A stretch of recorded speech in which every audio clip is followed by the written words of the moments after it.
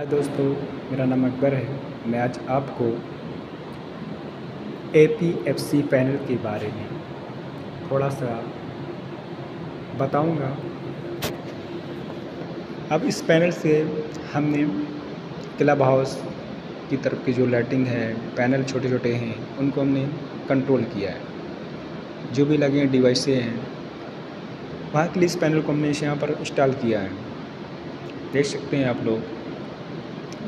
इस पैनल में ये कैपेसिटर बैंक बनाया है। कैपेसिटर बैंक को दरवाजे इसको ओपन करते हूँ, आपको दिखाता हूँ।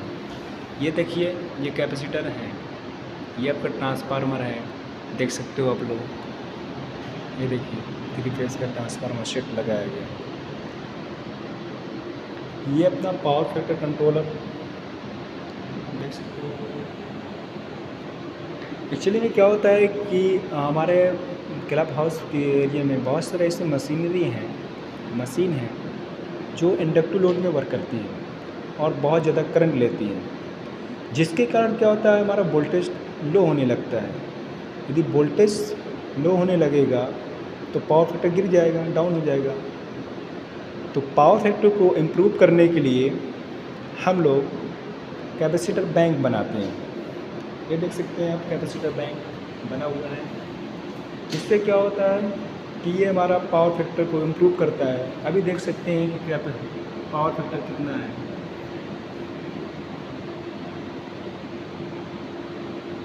देखिए power factor zero point nine nine कभी कभी वन भी हो जाता है यूनिटी भी हो जाता है। इतना इम्प्रूव करके हमें देता है। ओके गाइस कुछ समझ आया मेन मकसद क्या है इस पैनल में कैपेसिटर बैंक बनाने का?